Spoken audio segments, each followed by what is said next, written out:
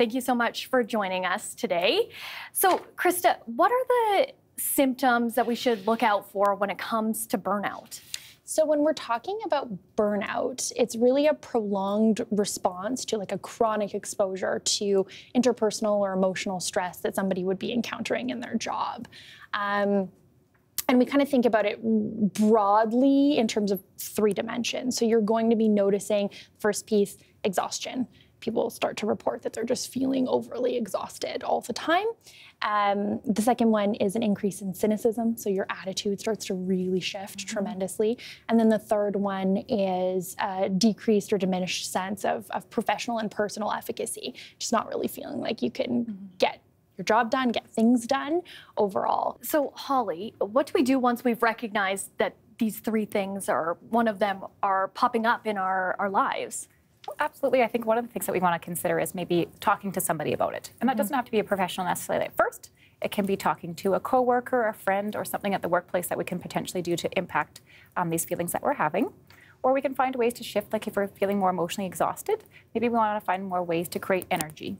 Or if we're having that um, reduced sense of accomplishment, maybe ways to increase our self-efficacy.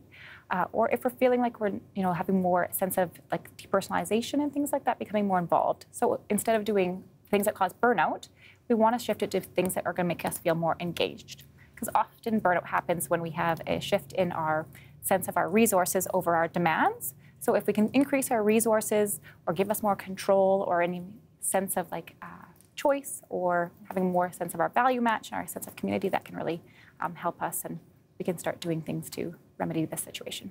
And I can't imagine it's good, but what happens if we don't treat the burnout?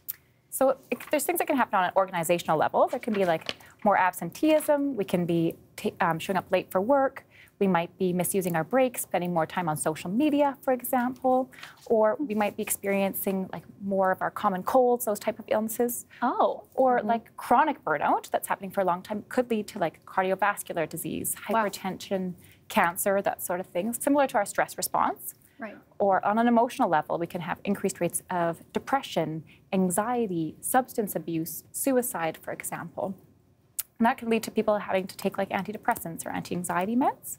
Or we have more interpersonal effects that can happen because there's a spillover effect into our lives. Yeah. So we can have increased like irritability, uh, or more cynical, frustrated anger, and obviously that's going to cause tension within the workplace, within our uh, relationships with our spouses, kids, that sort of thing. So there is a lot of implications that can happen from burnout. And so, Krista, you've been looking into interventions. You're mm. doing your dissertation on that. Uh, so, what have you found when it comes to interventions for burnout?